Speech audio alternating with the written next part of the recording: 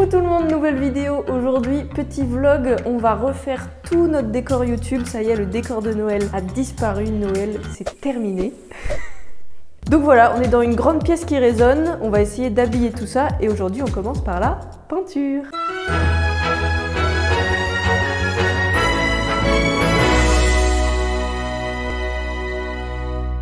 Jour 3, il est trop beau ce mur bleu Aujourd'hui, on va attaquer la peinture noire sur ce mur. En fait, l'idée c'est d'avoir un angle un peu genre comme ça, où on va avoir les deux, les deux murs euh, derrière moi euh, pour les vidéos YouTube. Bien sûr, il y aura de la déco, des meubles, tout ça en plus. Mais donc aujourd'hui, on va attaquer la peinture noire. Mais avant ça, petit café parce que les nuits sont pas toujours faciles en ce moment.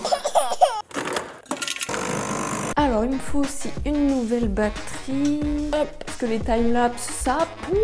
Eh, mais je suis en train de me dire, on vous a jamais fait visiter les bureaux finalement. Alors, je vous montre ça vite fait. Donc, quand on arrive par cette porte-là, youp, youp, youp, youp, on arrive dans un petit espace salon, réception des clients, etc. Ensuite, ici, on a l'espace open space. On a quatre euh, bureaux, donc celui de Jérôme, le mien, et pour accueillir euh, d'autres personnes quand on a besoin du petit bazar, mais ça, on verra ça plus tard dans la vidéo. Et ensuite, on arrive donc dans cette grande pièce vide qui résonne pour le moment. Il y aura un coin pour manger qui sera pas ici. Il y a la cuisine qui sera pas ici. Il y a le matos qui sera pas ici non plus. Et il y a le chantier de la peinture, le futur décor YouTube. Je change de batterie. Le seul truc auquel on n'a pas pensé, mais c'est pas grave parce qu'on est là pour un petit moment quand même, c'est qu'on a pris des couleurs bien foncées là en peinture. Donc quand va falloir repeindre tout ça en blanc quand on libérera le local,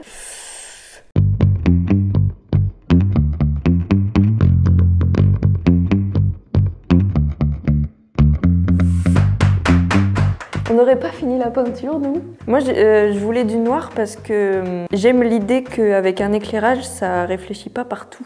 L'idée, c'est que l'étagère avec tout le matos va revenir... Cours, cours, cours Ici. Oh, t'as fait un cœur Éléphant Quand t'as peint, c'est-à-dire que... Si le proprio regarde. Mais je pensais que c'était à peu près... Les bombes du luxe, que c'était à peu près du luxe. En fait, non, ça fait un G qui est pas comme ça, il est comme ça. Tout a un nom.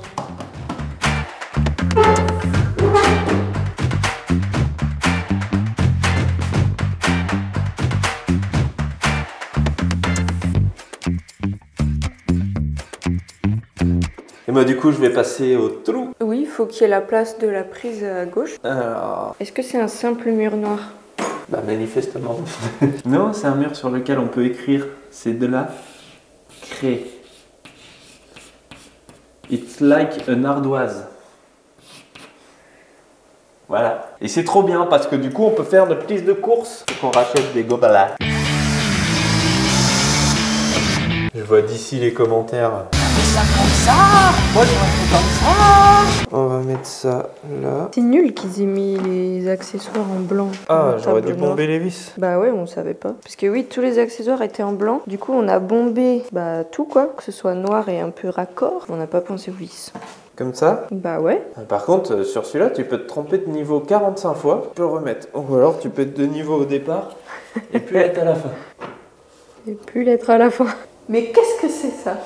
Mais qu'est-ce que c'est, jamais eu Donc ceci est notre future station de charge pour charger les batteries. Donc l'idée, c'est qu'on a pris des petits accessoires, on a déjà installé les multiprises prêtes à l'emploi pour pouvoir venir brancher nos petits chargeurs et déposer nos petites batteries. Le chargeur de 1DXR3, on l'a en double, donc on peut en sacrifier un pour venir le coller ici. Et les chargeurs des batteries euh, Sony Pareil, on en a plein des chargeurs de ce type de batterie là, donc on va venir les sacrifier pour les mettre sur ce tableau. Quand je dis sacrifier, c'est parce que on va mettre du double face et on va venir les bam pour les chargeurs qu'on ne veut pas sacrifier parce qu'on a besoin de les emmener en tournage, en déplacement, etc. On a prévu les petits accessoires qui vont venir directement se, poser euh, dessus sur le tableau et on va pouvoir poser simplement nos chargeurs et nos batteries qui chargent dessus.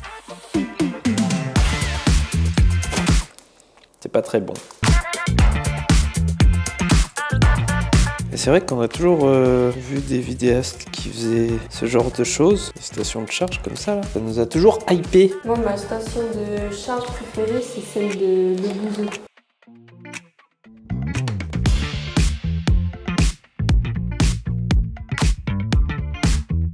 Donc du coup, je rentre de tournage, je veux mettre une batterie en charge. Youp.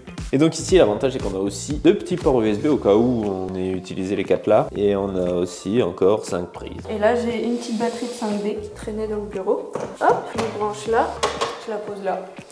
Ça charge. Il ne reste plus qu'à faire la mise en lumière du studio pour quand on va faire les, les vidéos YouTube, quoi. Parce que là, il y a c'est l'éclairage plafonnier, c'est pas ouf. Donc on se retrouve bientôt, parce que je sais pas quand on va le faire.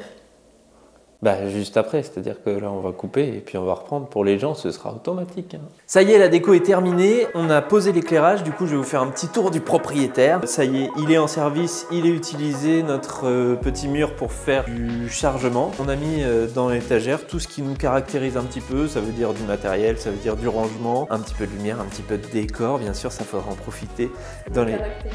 Ça nous caractérise le rangement de ouf. Pour le show réel, ce qu'on voulait en termes d'éclairage et là où on voulait utiliser correctement le décor, c'était avoir un éclairage un petit peu plus fort de ce côté-là du visage, un petit peu moins fort de ce côté-là du visage. A mis deux éclairages en face, un qui est côté euh, droite de mon visage qui va être un petit peu plus fort, c'est du panneau à LED. On a remis du panneau à LED de l'autre côté, nettement moins fort. Et on a voulu un petit peu euh, avoir de la couleur avec du bleu qui revient pour euh, éclairer en contre et sur le côté. En bas, on utilise un autre panneau à LED en RGB et en full bleu. Par contre, à l'inverse, tout le fond, on l'a éclairé en orange, mis à part les petits nuages qui est là-bas, qui lui est blanc.